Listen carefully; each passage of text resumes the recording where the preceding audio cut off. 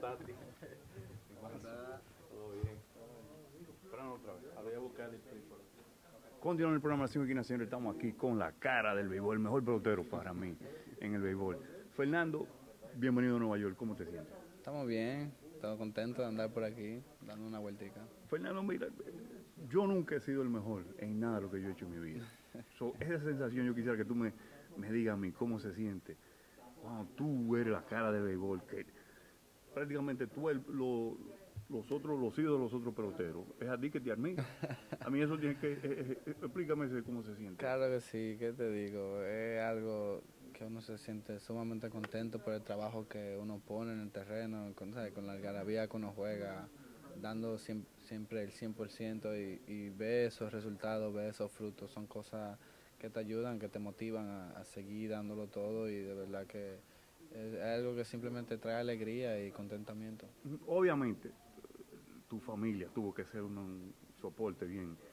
Tú no puedes compartir con nosotros el consejo que tu papá te dijo a ti cuando tú filmaste y tú dijiste, hey, esto es lo que viene, prepárate.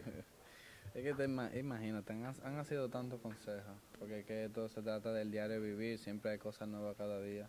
Eh, mi papá es alguien que me vive aconsejando diariamente, no tan solo en cosas del terreno, sino también fuera de cosas del terreno, pero, ¿qué te digo? Cosas, ¿sabes? Siempre... Trivial, porque tú sabes que lamentablemente cuando tú estás a nivel tuyo, van a haber miles de gente que lo que no es con las mejores intenciones. So, él te sentaba a ti, te preparaba y tú te dijo a ti, mira, Sí, no es así, pone, adelantándome un par de pasos siempre. Él siempre me ponía adelante, me decía van a venir gente así, van a venir gente así, de qué forma reaccionar, eh, de cómo darle la cara a la gente.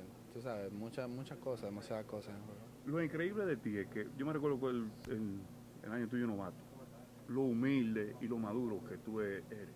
Un pelotero que han estado 20 años no tiene la sensibilidad y la madurez y tú, que tú tienes. So, eso es algo especial. Yo creo que eso viene de tu familia y Eh, sí, también... no, definitivamente te doy crédito a mi familia, a mi papá, que el que se ha mantenido encima de mí en, en base a eso y el que me ha jalado los moños, como quien dice.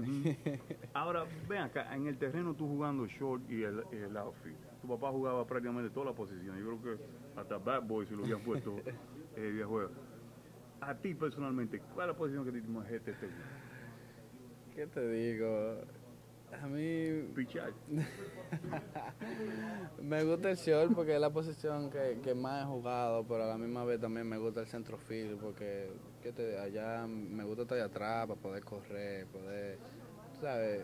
Son diferentes áreas del juego. Yo aprendí cómo apreciar a las dos y simplemente a veces hacer una cosita diferente, a veces te ayuda hasta como motivarte un poquito más Mm. durante la temporada larga, pero que va durante la posición, eso eh, obviamente sobre todo la que más yo he jugado en mi carrera y en mi vida, pero van ahí las dos agarradas de la mano. Yo creo que tarde o temprano tú vas a terminar en, en el center field.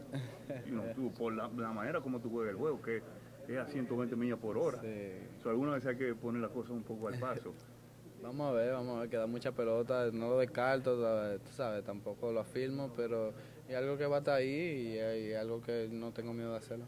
por fin a ti, mira, ellos dicen a los peloteros, los excelentes peloteros como tú, que el juego tú lo ves en cámara lenta, que tú ves ciertas cosas. Yo me recuerdo una vez que Oscar de la Joya me dijo a mí que él veía la, la trompada cuando venía en cámara lenta. Jordan me decía que, él a- a que las cosas se le abren a él en fracción de segundo. Eso es lo que pasa contigo cuando tú estás batiendo, que tú ves la cámara, la bola, el paso, el juego, se, Sí, hay detalles, hay turnos que uno está laqueado, el mismo juego te, te, eh, te entra en sí. Y sí, hay momentos así que uno llega a ver la cosa en cámara lenta, que, ¿qué te digo? Que no sé, como se le ponen como menos difícil a uno, pero definitivamente esas son cosas que sí pasan. hermano, listen, tú eres primera clase y no cambie de verdad, no cambie de verdad, porque tú eres lo, lo- lo mejor que produce la República Dominicana y, y es un orgullo Muchas este, estar al lado tuyo y de verdad un orgullo estar contigo. Muchas gracias. Good luck, brother. Thank Be you. safe, man.